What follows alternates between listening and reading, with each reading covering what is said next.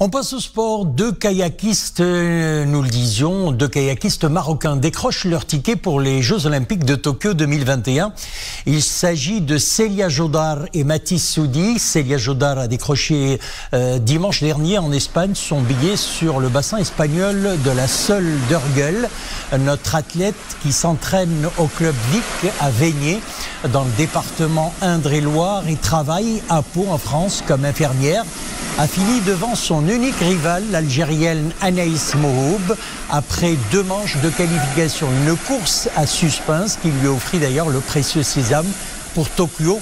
De son côté, Mathis Soudi, 21 ans, a décroché sa qualification grâce à sa deuxième place en finale, euh, toujours sur le bassin de la Seule d'Ergel en Espagne.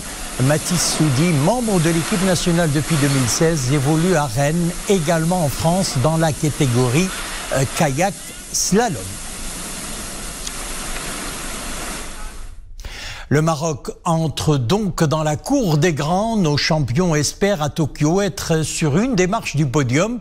Les gros efforts fournis par la Fédération royale marocaine de canoë et kayak ont porté leurs fruits. Alors, en direct avec nous par Zoom depuis Pau en France, Célia Jodar qui représentera donc le Maroc au JO de Tokyo. Euh, Jodar, bonsoir. Alors, euh, euh, d'abord, vos impressions après votre qualification? Très heureuse, très très très heureuse.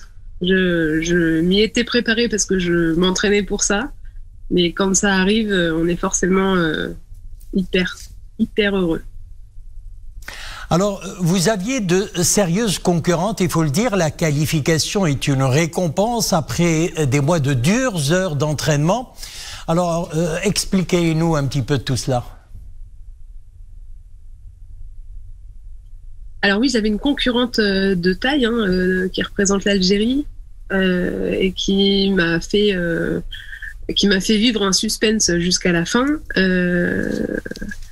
elle, s'entraîne aussi à Strasbourg. moi, je m'entraîne à Pau. On ne sait pas trop l'une et l'autre comment chacune navigue, mais mais on s'est entraîné ensemble toute la semaine en Espagne et j'ai pu voir ses courses parce que je courais avant elle et elle a très bien navigué. Donc euh, je suis très contente d'être devant.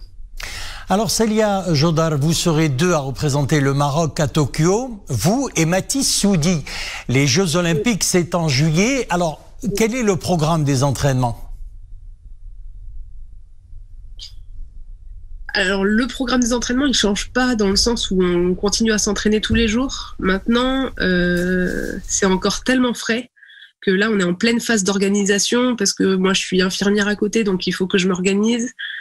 Euh, j'ai la chance d'habiter à Pau, de travailler à Pau et d'avoir une structure d'entraînement qui est superbe. Donc, euh, donc pour ma part, euh, c'est, j'ai, beaucoup de chance. J'ai beaucoup de chance. Je suis, je suis très motivée. Donc maintenant, il va falloir qu'on parle avec le président de la fédération, Monsieur Bellabas, et le comité olympique pour savoir comment on peut s'organiser pour la suite.